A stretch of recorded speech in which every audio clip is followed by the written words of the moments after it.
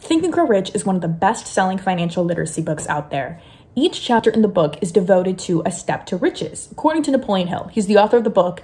And so he breaks down the book into chapters. And each chapter, of course, is what he thinks is a necessary step to achieving real wealth in your life.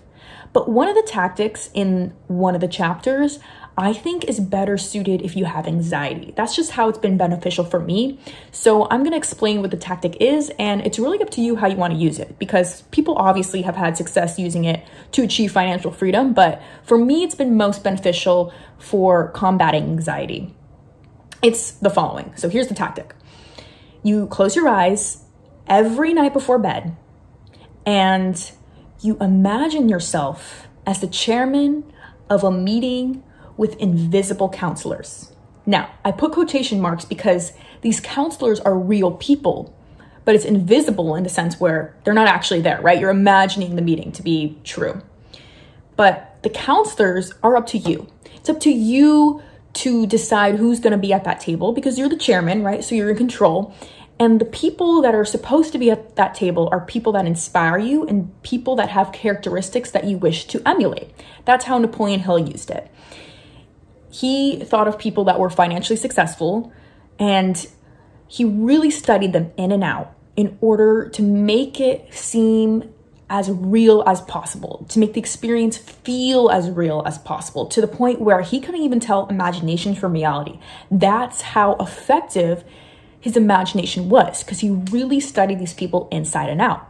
So for me, whenever I am feeling anxious, I imagine myself talking to Dr. Nicola LePera. I don't know if you know her. She goes by the holistic psychologist on Instagram, but I really like her advice. I like the way she presents her information on Instagram. It's really clear and to the point. Um, I like her take on mental health. So I chose her as the only really member of the council meeting. Well, also Jesus also. I'm going to put Jesus in there because Jesus I I like to get wisdom from the Bible, so he'll be in there sometimes. but really, like I said, since you're the chairman, it's up to you who is at the meetings that you want. When they're at the meetings, you're the chairman, you're in control. And that's what's so cool about this tactic is that it puts your mind to rest because you feel like you're in power, right? Even though these people may be more powerful than you on paper, right? Because of their achievements, what they're known for, what they've done. The whole point is to make you feel powerful by having you at the head of the table, right? You're the chairman, you're delegating, and they're there to give you advice and to serve you. So it really helps put your mind at ease, give you confidence to achieve success in whatever area of life you're trying to achieve success in. So for me, I use it for combating anxiety. So achieving success in get being really healthy with mental health. Or you know for people who read the book they use it to achieve financial freedom and level 10 success in their finances. So pick whatever people that you want at your table. And it doesn't have to be every night before bed. That's just how napoleon did it. But it could be any time of day.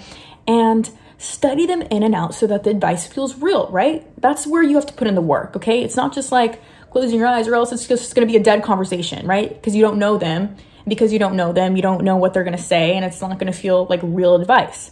You really need to do your work of studying the people and being like, okay, what would they do if they were in my position? And literally asking that when you imagine it. I'm asking Dr. Nicole LePera, I'm like, okay, like what should I do given that I'm in this situation? Like what would you do given your expertise on this subject. So that's how they're there to serve you. And I really hope this tactic helps because it's helped me. Let me know in the comments any thoughts you have, and I hope to see you in my next video. Thank you.